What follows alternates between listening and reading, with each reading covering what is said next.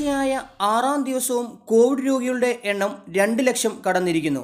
ചൊവ്വാഴ്ച അവസാനിച്ച ഇരുപത്തിനാല് മണിക്കൂറിനിടെ രാജ്യത്ത് രണ്ട് ലക്ഷത്തി അൻപത്തി ഒമ്പതിനായിരം പേർക്ക് കോവിഡ് സ്ഥിരീകരിച്ചിരിക്കുന്നു. ഇതേസമയം കേരളത്തിൽ വളരെയധികം നിയന്ത്രണങ്ങൾ ഇന്നു മുതൽ നടപ്പിൽ വരികയാണ്.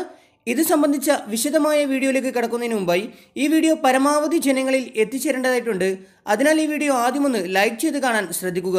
വീഡിയോ ഉപകാരപ്രദമാവുകയാണെങ്കിൽ പരമാവധി നിങ്ങളുടെ സുഹൃത്തുക്കളിലേക്ക് ഷെയർ ചെയ്യാനും ഈ ചാനൽ സബ്സ്ക്രൈബ് ചെയ്യാനും മറക്കാതിരിക്കുക. ഇന്ന് രാത്രി മുതൽ സംസ്ഥാനത്ത് നൈറ്റ് കർഫ്യൂ ഏർപ്പെടുത്താനിരിക്കെ നിയന്ത്രണങ്ങൾ വിശദീകരിച്ച് D G P Loknath Behera. Night curfew സമയത്ത് മരുന്ന് പാൽ എന്നിങ്ങനെ അവശ്യ സാധനങ്ങൾ വാങ്ങാൻ പോകുന്നവർക്ക് ഇളവ് നൽകുമെന്ന് ലോക്നാഥ് ബെഹ്റ മാധ്യമങ്ങളോട് പറഞ്ഞു. നോമ്പ് സമയത്തെ സാധാരണ ഇളവ് നൽകാൻ നിർദ്ദേശിച്ചിട്ടുണ്ട്. എന്നാൽ ദീർഘദൂര യാത്രകൾ ഒഴിവാക്കേണ്ടതാണ്. അത്തരത്തിൽ നിയമം ലംഘിക്കുന്നവർക്കെതിരെ നിയമ നടപടി സ്വീകരിക്കുമെന്ന് അദ്ദേഹം അറിയിച്ചു. കാറിൽ ഒരാൾ മാത്രമാണെങ്കിലും മാസ്ക് നിർബന്ധമാണ്. കോവിഡ് പ്രോട്ടോകോൾ അനുസരിച്ച് കാറിൽ ഡ്രൈവറെ കൂടാതെ രണ്ടു പേർക്ക് കൂടി യാത്ര ചെയ്യാം. ഫാമിലി ആണെങ്കിൽ ഇളവുണ്ട്. എന്നാൽ പല കുടുംബങ്ങളിൽ നിന്നുള്ളവരാണെങ്കിൽ ഇളവ് ഉണ്ടായിരിക്കില്ല. ഓട്ടോറിക്ഷയിലാണ് യാത്രയെങ്കിൽ ഡ്രൈവർ കൂടാതെ രണ്ടു പേർക്ക് കൂടി യാത്ര ചെയ്യാം. കാറിൽ ഒന്നിൽ കൂടുതൽ പേർ യാത്ര ചെയ്യുന്നുണ്ടെങ്കിൽ ഡബിൾ മാസ്ക് ആണ് നല്ലതെന്ന് ലോക്നാഥ് ബെഹ്റ പറഞ്ഞു.